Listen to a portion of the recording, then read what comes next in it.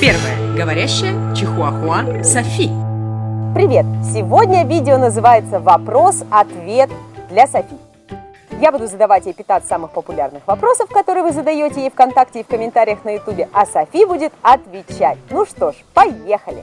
Первый вопрос для Софи. На что вы снимаете?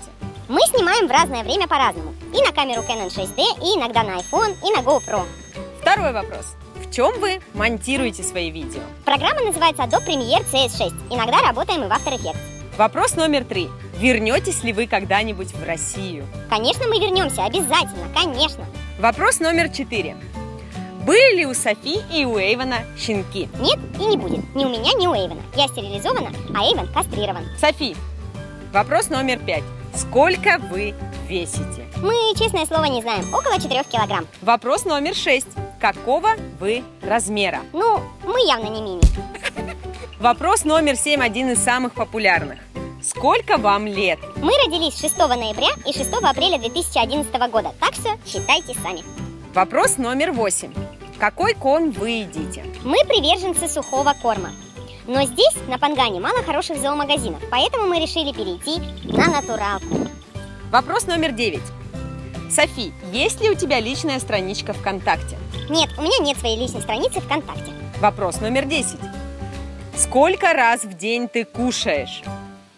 Раньше еда стояла в свободном доступе, но в Таиланде оставлять еду в открытом доступе нежелательно из-за разных насекомых, постоянной жары. Поэтому сейчас мы кушаем два раза в день, но у нас нет четкого графика.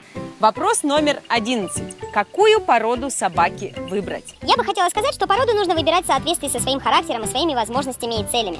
Вы же не станете покупать чихуахуа, если у вас цель охрана дома. Или наоборот, если у вас квартира очень малюсенькая и вы хотите просто друга для прогулок и поспать вместе, вы же не будете заводить мастифа. Или если вы не особо любите долгих прогулок и активных игр, то не стоит заводить, например, Джек Рассела. Я обязательно сделаю видео о том, какие породы подходят для квартиры, для детей, для дачи. Или у какой породы какой характер. Но выбирать вы все-таки должны сами с учетом всех моментов. Ведь нельзя завести собаку, которой вы не можете дать то, что ей необходимо. Двенадцатый вопрос. Как назвать свою собаку?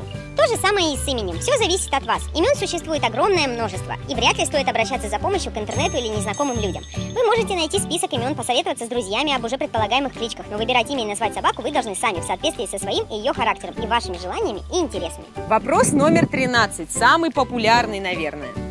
Как уговорить родителей купить собаку? О, да, это один из самых часто задаваемых вопросов. Я, конечно, сделаю отдельное видео об этом, но самое главное, что вы должны помнить, что собака – это большая ответственность. Вы должны уметь нести ответственность за кого-то другого. Недостаточно иметь много знаний и быть начитанным в этой сфере, что тоже очень важно.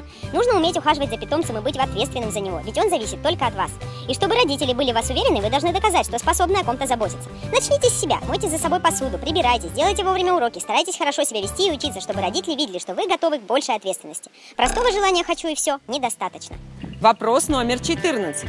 Правда ли, что чихуахуа злые? Нет, это неправда. Все зависит от того, как вы воспитали свою собаку. Посмотрите на нас с Эйвеном. Разве мы злые? Нет. Все дело не в нас. Мы не виноваты в том, в чьи руки мы попали и как к нам относились и воспитывали. И вопрос номер 15 от Ольги Кресниковой. София и Анна. Я хотела спросить, кто вас натолкнул на мысль снимать Софи? Софи, расскажи, кто нас натолкнул на эту мысль? Никто, мы сами это придумали. Точнее, это придумала моя мама Аня. Когда она увидела меня, какая я милая и как мы с Эйвеном играем, она решила, что нужно это снимать на видео. С этого все и началось. Спасибо большое, Софи, что она ответила на самые популярные вопросы, которые вы задавали. Надеюсь, теперь у вас этих вопросов не возникнет, а если они возникнут, и тот, кто увидел этот вопрос, может послать человеку, который спрашивает, это видео. Потому что иногда все-таки у нас нет времени отвечать на все комментарии. Спасибо большое и будет вам счастье! Пока-пока! И будет вам счастье. Пока-пока. Мам, что-то мне кажется, из-за этого солнца и ветра в глаза я выглядела как-то слишком серьезно. Софи, ты выглядела, как всегда, прекрасно. Да? Ну ладно.